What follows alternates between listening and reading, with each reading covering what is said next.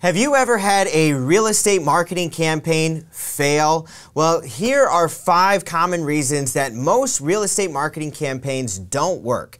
In this video, I'm going to explain what they are and how you can avoid making these mistakes on your next marketing campaign.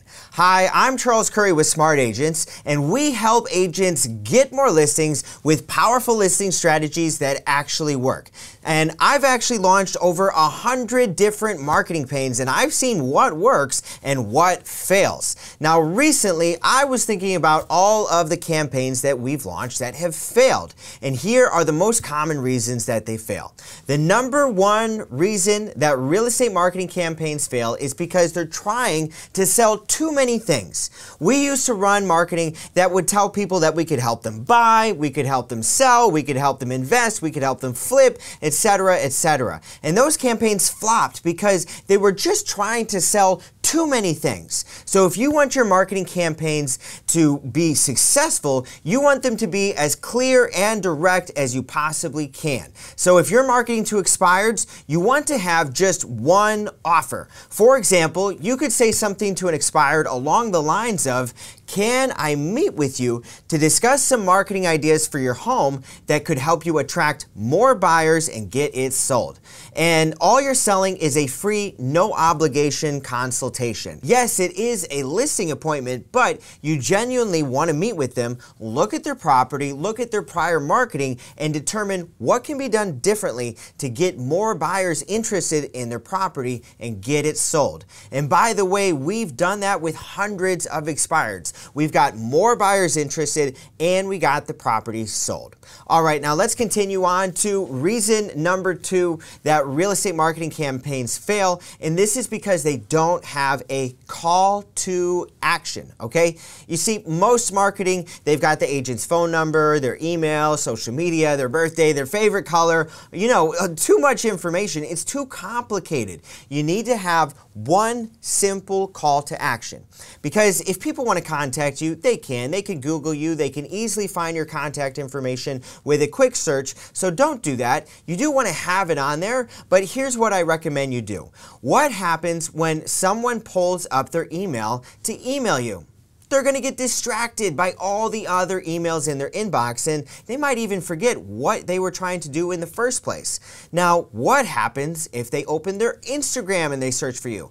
Instagram puts the most interesting and crazy videos right there in the search box. So they're immediately going to be distracted by that one crazy video and forget all about you. By the time they're done watching it, they don't even know who you are anymore, okay? Do you think they're still going to try and contact you? Nope. Which is why you want to do this. You want to send them to one simple website or have them call you. Don't waste your marketing dollars promoting Instagram's distractions. So here's the simple way to get more appointments. First, offer something for free that has a benefit. For example, you could offer them a free book or a free report on how to sell their home for top dollar. And then tell them one specific URL to go to to get that free book or that free report. And as soon as they fill out the form, you can direct them to a calendar page to schedule an appointment with you. And don't worry about the people who just want to hire you. Many of them will skip the form and simply simply call you right up instead. In fact, about half of our real estate leads just straight up pick up the phone, call us, and talk to us. The free report did such a great job at positioning us as an expert that many people simply skipped the request and the page and they just went and called us and hired us right away. So put your phone number under your name on your marketing, but put it there almost kind of as an afterthought. Now, does that make sense to you? So let's continue. And the number three reason that real estate marketing campaigns fail is because they don't have a strong differentiator.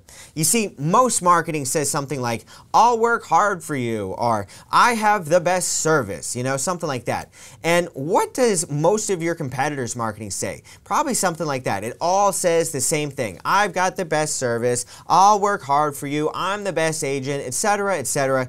You've got to do something different to stand out. So if you're marketing to sellers, talk about how you'll sell their home for top dollar fast, okay? If you're marketing to buyers, talk about how you're going to help them find their dream home and you're going to negotiate the best price for them. If you're marketing to expireds, talk about how you specialize in selling homes that other agents failed to sell. You have to tailor your differentiator to each specific customer and their desires and their needs.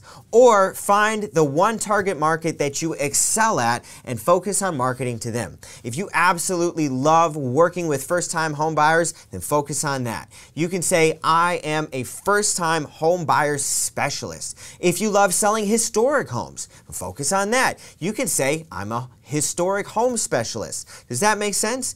Now, let's continue on to the number four reason that real estate marketing campaigns fail. And that's because they're not focused on leads that are in the market. You see, I see so many people mail out postcards trying to farm a neighborhood, or they leave door hangers on my door with free candy. And personally, I love the free candy, but I'm not going to be selling my home anytime soon. So that marketing simply takes too long to work. And we've all got bills that we've got to pay today. So what I recommend you do is focus on people who are in the market today. FSBOs, expireds, inherited homes, divorcing homeowners, landlords who just filed an eviction, people who are behind on their property taxes, pre-foreclosures, and people who own a vacant home. These people are in the market and have a high chance of listing soon. And even better, you can put together a customized marketing plan that talks specifically to them, differentiates you from your competition, and has a strong offer and a specific call to action. So focus your marketing on the people that are in the market. And last but not least, the number five reason that real estate marketing campaigns fail is because they are not improved. Okay, and this one is really, really, really important and probably one of the most difficult ones to get right. So let's take our expired campaign as an example. When we first started mailing this thing out, when we first started sending this, it barely worked. And most of the time, if something isn't a huge home run, we're like, ah, throw that thing out, right? Now, when we first rolled out our expired campaign, we didn't get a great response and we stopped using it. But then we discovered how to up-level our marketing and to improve it, how to make the graphics better, the headlines better. And we continued tweaking and improving it, and now today it works great. And we have a winner because we took something that worked just all right and we improved the heck out of it, okay? So if you've got any marketing campaigns that work okay, then work on improving them, all right? Now, would you guys like to get even more tips for getting listings? Well, I have a free guide titled 27 Ways to Get Listings. Look in the description of this video. You're going to find a link to it there. I highly recommend that you go down there right now and check it out so that you can set yourself out for even more listings in the future.